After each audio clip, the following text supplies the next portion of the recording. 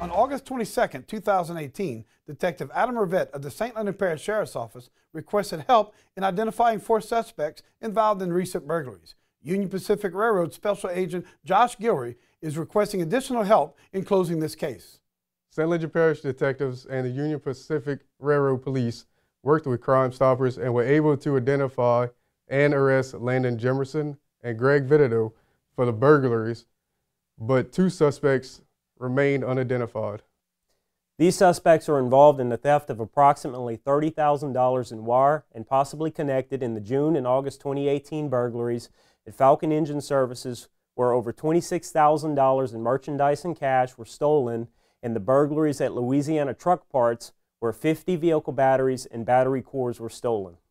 Download our P3 app and tap the app on your mobile device to submit your anonymous tips. Be alert, be safe, and God bless you. On behalf of Crime Stoppers, Detective Adam Rivette, and Special Agent Josh Gilry, I'm Major Eddie Thibodeau.